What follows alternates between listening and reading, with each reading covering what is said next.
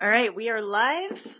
Um, we've got Catherine. What do you got going on there? Uh, well, there's some orange juice and smoked clementine juice and It's- some yeah, ground it's- almonds. Very nice. It smells very citrusy. What you got going on here, Adam? Um, we'll see. I wanna see some dark secrets yet. chocolate chips in there, and then we got some coconut oil, maybe Coconut milk. coconut milk. All right, and the Thiedes have got something interesting going on here. Some syrup, it looks like. yeah, so I've got some almonds toasting right now. and I'm making. Is it on an open fire though? No, no. Uh, it was for a minute, but we put that out.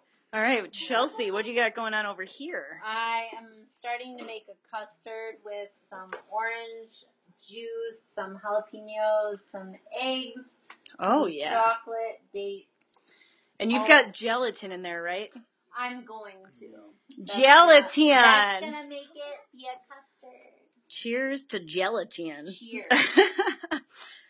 All right, so I am so excited to see what people do in this round with the ingredients that Simon and I have chosen. I'm using the only clean fork we. By the way, yeah, this kitchen got completely trashed.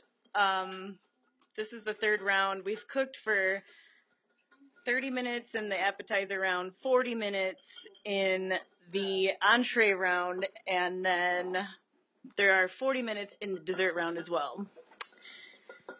So we've got some good culinary expertise going on right here. See some some pepper. Yep. That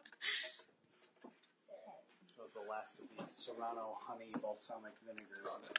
Oh. Some maple syrup. R.I.P. Right? Yeah. Pour one out for the homies. Oh, we got some eggs going on. Don't look too closely. I'm gonna be surprised no matter what you guys do. So. Oh yeah, I thought you were gonna put that in there. Still don't know what to do with the jalapeno. All right, we're gonna take a break and come back in a little bit.